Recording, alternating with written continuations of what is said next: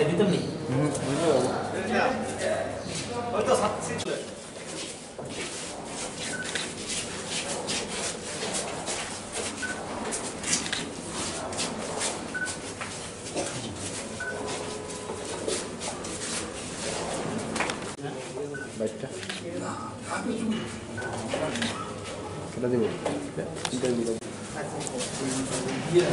আমাদের প্রিয় মিঠুন ত্রিপুরা প্রয়াত গত একুশে ডিসেম্বর প্রয়াত হয়েছেন। তো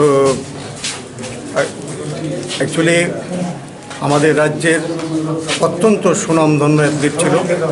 জুনিয়র অ্যাথলেট উঠতি অ্যাথলেট ত্রিপুরা স্পোর্টস স্কুলের প্রথম বর্ষের ছাত্র। আমাদের রাজ্যের জন্য বহু মেডেল কুড়িয়েছে, এনেছে। বহিরাজ্য থেকে অত্যন্ত ট্যালেন্ট মিঠুন ত্রিপুরা। ত্রিপুরা স্পোর্টস স্কুলের ক্লাস ফোরে ভর্তি হয়েছিল এবং সে দুই হাজার চারে শেষ দিকে প্রথমেই সে ইস্ট জুন অ্যাথলেটিক্স মিটে অংশগ্রহণ করেছিল এবং সে সেখানে গোল্ড মেডেল পেয়েছিল।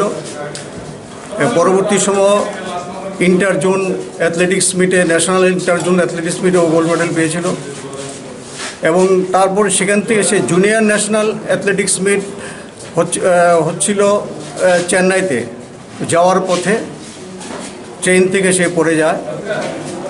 সাংঘাতিকভাবে সে আহত হয়েছিল। ওই দিন তাকে